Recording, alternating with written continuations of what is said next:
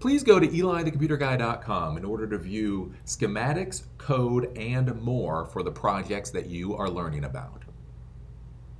Welcome back. So in today's video, I want to show you how to use an infrared proximity sensor using the digital output. So when you use infrared proximity sensors, you can use them both for digital output or for analog output. When you're doing digital, basically it's either on or off. You don't get a range of values. When you do analog, you can get a range of values. When you do digital, it's either on or off. Either something is close or it's not close, you don't get anything in between. So this can be very valuable, especially when you're building things like uh, autonomous vehicles that are going to be moving around in environments with obstacles. So this is a way basically you can have the vehicle be able to tell if it gets too close to an object without actually having to bump up against it. So that's what makes these infrared um, distance sensors, uh, a valuable thing to use. So with that, let's go over to the workbench. I'll show you the components of this particular project, then we'll show you how to code it up, put it all together, and uh, show you how it all works.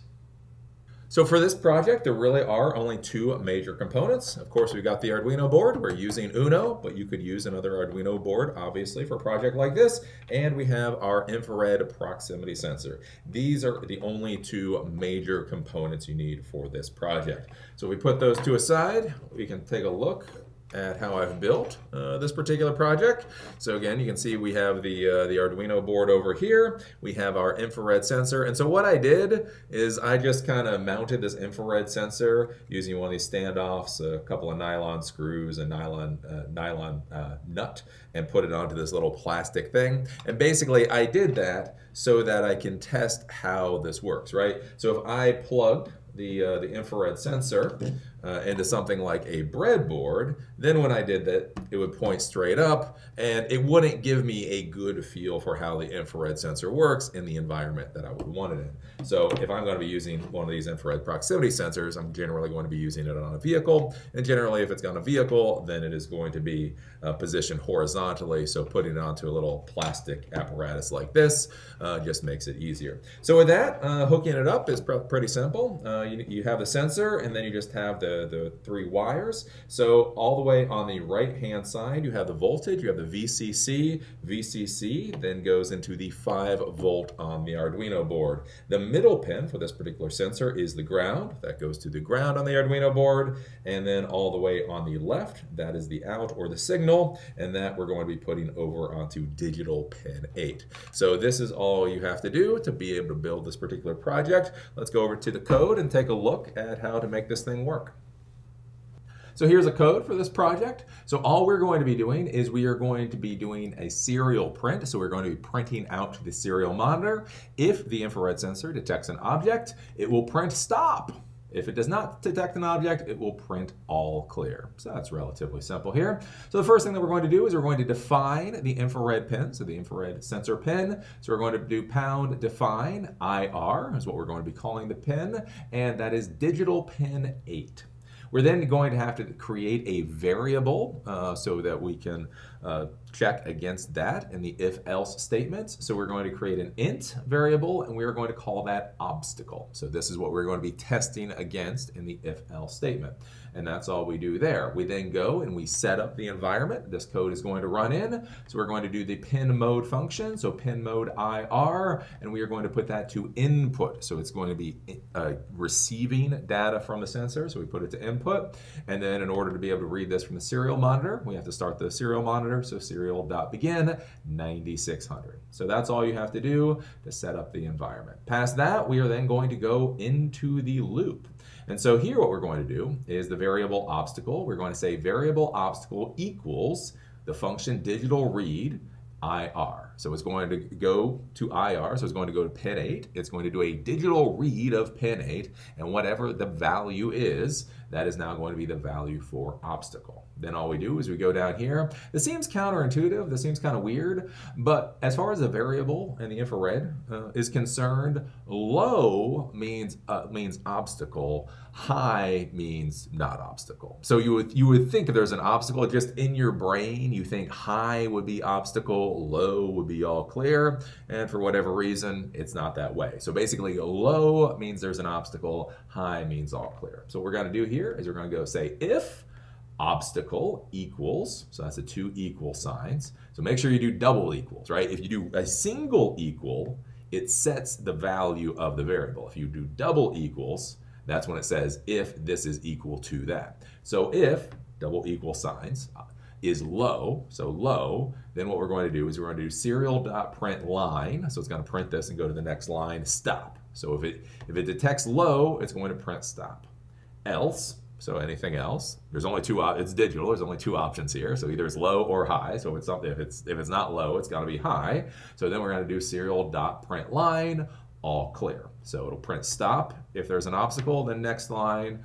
Uh, if there's not an obstacle, print all clear go to the next line. And then for this, I've set this for a delay of 500 milliseconds, about half a second. So this is fast enough uh, to see it operate rather quickly, but still slow enough that we can actually perceive what it's doing. So with that, what we're gonna do is we're gonna upload this code to the Arduino and then take a look uh, to see what the results are.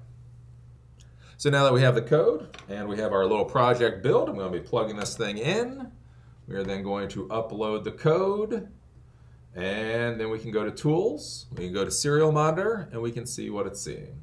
So as we can see here, it sees all clear. So currently there's nothing in front of the infrared sensor, so it's not detecting anything. As I bring my hand closer and closer and closer, you'll see at a certain point and now see something, so it tells you to stop. So again, so if you had this on a robot car, some kind of autonomous vehicle, it means that eh, right about the one inch mark, uh, this would trigger and then it would do whatever you had told it to do. If I bring my hand away, it goes back, bring it forward, it says stop. Now one of the nice things about this particular sensor is it does have the green LED, so whenever something is too close, the green LED goes off. So this is one of the nice things that you can use for a troubleshooting process. So if you're writing code for the infrared sensors and you're not sure what the problem is, is it the sensor, is it your code, so on and so forth, the nice thing here is you can see that the infrared sensor is working properly. So if your code isn't processing properly, then you need then you know to go troubleshoot the code, right? So with this sensor, if, if that light wasn't going off, then you may think, oh, maybe I screwed up on how I wired this thing. Maybe there's a fault with the sensor, that type of thing. Whereas if the green light goes off when it's supposed to, then you know, okay, most likely the sensor is working properly. I need to figure out what's going on with the code. And so this is what we can see basically how the infrared sensor works. Now, one of the things that you should do, again, whenever you're using some, a proximity sensor, I talked about this before with like the ultrasonic distance sensor, one of the things you should check is basically the different types of angles you can approach the sensor at and when something will be detected. So like one of the problems with ultrasonic distance sensors is that if an object comes at them from a sharp angle, like a 45 degree angle, they won't work properly because the signal comes out and then it reflects in another direction and doesn't go back to the receiver.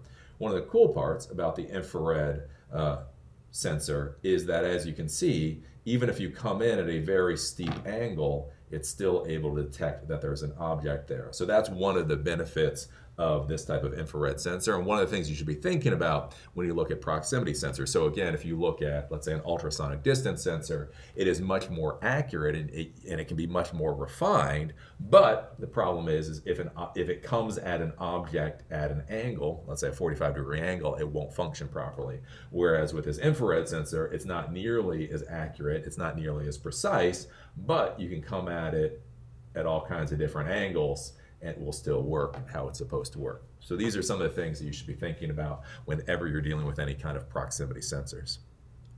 So that's all there is uh, to using an infrared proximity sensor with the digital output to detect if something has come cl too close to your particular Arduino project. Again, this is very valuable in things such as autonomous vehicles, basically to make sure that the vehicle isn't bumping into things as it goes around.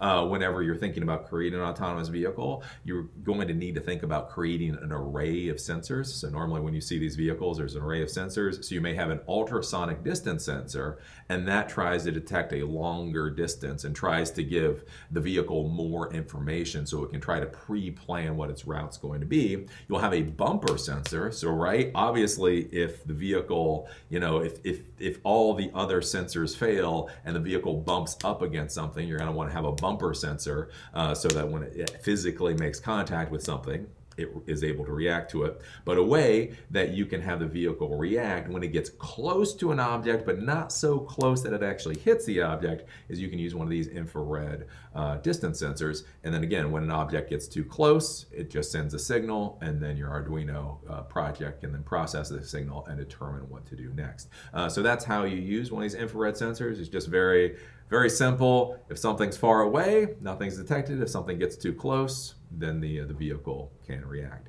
So that's all there is to it. As always, I enjoyed doing this video and look forward to seeing you at the next one.